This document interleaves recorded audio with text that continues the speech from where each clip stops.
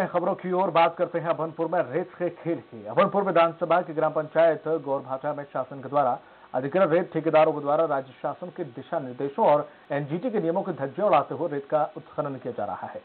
नियमित है, रेत का उत्खनन सुबह छह बजे से शाम छह बजे तक किया जाना है। जिन स्थानों पर पानी भरा है, वहाँ पर किसी भी कीमत पर रेत का उत्खनन नहीं किया जाना है। रेत का उत्खनन मानव श्रम द्वारा कराया जाना है। जिन स्थानों पर सेमी मशीन उपयोग की अनुमति है, वहाँ पर उत्खनन मानव श्रम से कराकर रेत को डंप कराया जाना है। जिन्हें मशीनों की सहायता से गाड़ियों में लोडिंग किया जाना है, लेकिन इन तमाम नियमों की गोरभाटा में दरकिनारे नियमों को किया जा रहा है।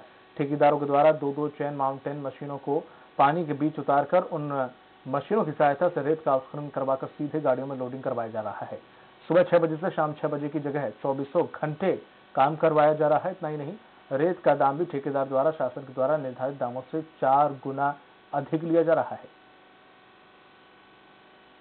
शासन के द्वारा संचालित गौर भाट के रेत खदान में पर्यावरण के नियमों की खुलेआम धज्जी उड़ाई जा रही है। जो खदान मई और जून के महीने में पानी से लबाला भरा रहता है, और आज भी वो खदान पानी से लबाला भरा हुआ है, वहाँ मशीन से रेत की लोडिंग की जा रही है।